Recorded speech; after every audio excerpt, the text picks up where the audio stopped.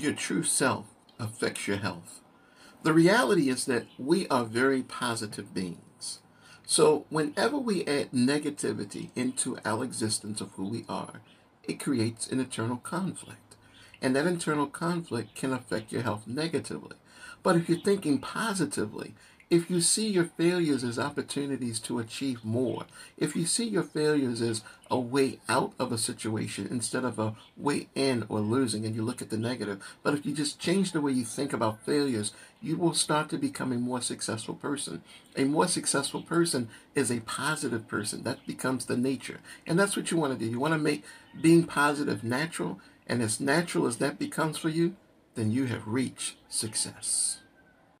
Bringing your dream to life is about making connections. Generally, when we talk about dreaming, we're talking about a vague sensation of awareness. But when we talk about life, we're talking about excitement.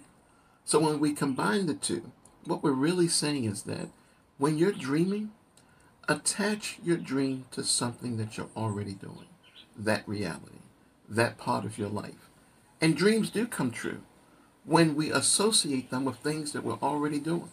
But if you're just dreaming and you're not making connections, then the sad truth of the matter is that explains a lot why you're not getting to where you want to be. So dream on, but dream with a connection to what's already going on in your life. Never get into a relationship with a narcissist. Now, that's just my opinion because I've been there. And the interesting thing about narcissists, they want to project everything on you. If they do something wrong, it's because of you. It's not a taking of responsibility, trust me. It's so frustrating. Do yourself a favor and run. And you can quickly tell who the narcissist is just because of their behavior. These are the three most powerful ways that you can influence another person. First, smile. That's the first thing that a person will see about you. The next thing is say something positive. And the third is to set a good example. See, it's not about how you define yourself, but it's how, based on your actions and your activity, that other people define you. So if you're positive, people see that positivity, and that's how you've been able to influence them. So make a good day out of today and influence someone with all three how to develop in your recovery. None of us are perfect. We are all works in progress. As one of my friends said, we are all developing at different levels of repair. We need help. But the way you develop when you're recovering is to always take note of those little achievements. These little achievements, when you start to put them together with the other achievements, they become one giant achievement. And you should feel good about that but pay attention. Because now, when it becomes so big that you can't see the real picture, you always have these little pieces of achievements that you can refocus on. And it's that refocusing that's going to help you to develop into the power, into the force that you really are. You're great. Just keep it going. One of the best ways to impress your girl, listen to her. Just listen. She has a lot to say. She wants to be heard. Let that satisfaction just overwhelm her with joy, her desire for you to listen to her. And if she describes for you the things that she wants, then bless her. Let her have them. What's wrong with that? Nothing. I mean, don't you want things that you want to come into play? Wouldn't you like for someone to listen to you? It's real simple to do. Easy to do, easy not to do. But it's better to just do it. Listen to her. Now, studying, you have to decide if you're one or two. It's a difference. A number one person is someone who does a schedule. A number two person is someone that doesn't really have a schedule. They just have a 24 hour period that they're working with. So, in order to accomplish either, it has to be managed. So, you know you're going to study, but how do you manage it? Well, you manage it first with focus.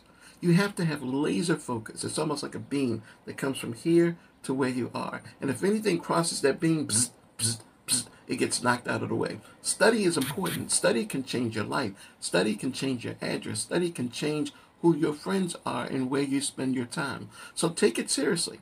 Keep the focus. Manage it by not allowing anything to disrupt this gold that you now have. We are all full of passion, but to find your passion, that's a skill. Several ways you can go about it. First way, make a list. Make a list of the things you like. Another good way to find out what your passion is, ask someone who's close to you. Where do they seem to think you are spending the most of your time? Where are you placing most of your energy? What is it that you talk about a lot? See, sometimes it's very difficult to evaluate yourself, but others are always evaluating us. You might think you like vanilla ice cream, but all your friends ever see you eating is chocolate. So the bottom line is, if you want to find out what your passion is, there's nothing wrong with talking to your friends. A lot of times we try to do this thing solo. Sometimes it's the meeting of the mind. Meet up the mind with your friends and find out what your passion is. How to improve your mindset. This is really not that complicated. A lot of people, they go through life and they learn this way. They don't move. But if you can remember when you were a child, you were always in motion. So you change your mindset. It's change. That means you're going to make movement.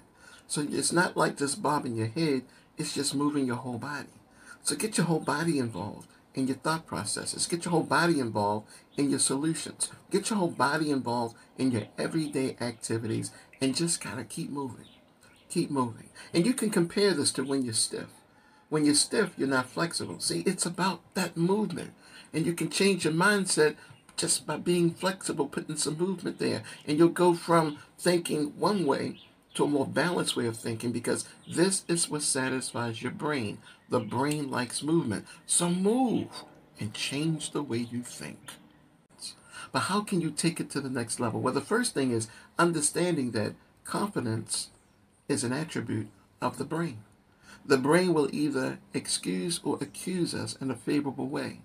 So if you have confidence and you want to improve your confidence, you need to make some things clear to your brain. And the first thing is, why are you doing a certain thing? See, you have to give your brain a reason, realistic in life, as to why you are attempting whatever it is that you're interested in. And the second thing is you have to warm up the brain. Just like if you were a runner in a race, you're going to warm up so that you don't hurt yourself.